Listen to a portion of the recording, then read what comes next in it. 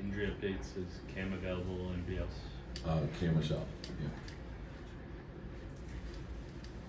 Another team that looks, looks to play fast, coach. Like I guess how important is shot selection in terms of defending a team that wants to play with pace?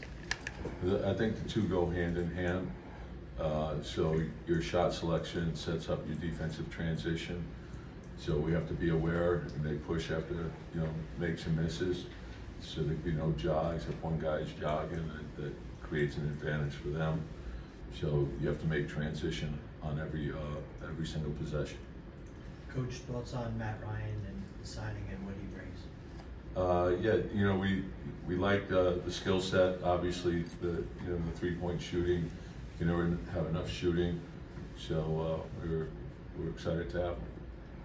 Coach Trae is um, coming off one of his worst games of his career. Just has there been any special attention defensively that you were talking to your guys about as far as him having a bounce back game against y'all?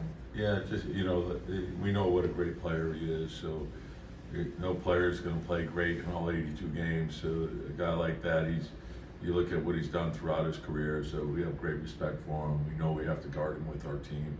Uh, you have to do it play after play. When the team's dealing with injuries the way Atlanta has had to, what challenges does that present in terms of preparing for them defensively?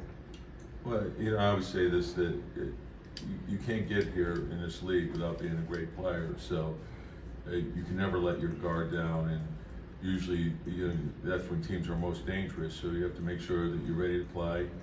Uh, you know, Trae's gonna create a lot of offense for them, and, you know, the way they run the floor, uh, the transition part, the easy baskets, that, that stuff, they put a lot of points on the board, and so we, we know we have to be strong on both sides of the ball.